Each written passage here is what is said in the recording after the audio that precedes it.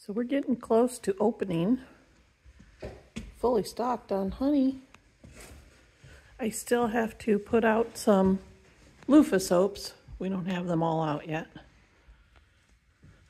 And we've got our soaps and cupcakes. And our beer and wine soap will be over here on the barrel. All my plants are in the window. We are going to be changing our packaging on the foaming hand soap. So that's why there's not very many. Still working on the bath bomb table. We have a sink right here. You're going to be able to test our soaps and sugar scrubs. Our lotion cabinet is not done. I have some rearranging to do. There's our men's products with the big O elk.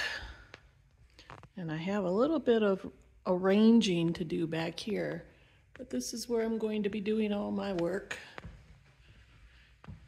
Not everything is put away. We've been here since 8.30 this morning, and it is now after 5, so we're tired. 5.30. We're tired, but we're close. So hopefully we will be open in a day or so. So watch for the announcement.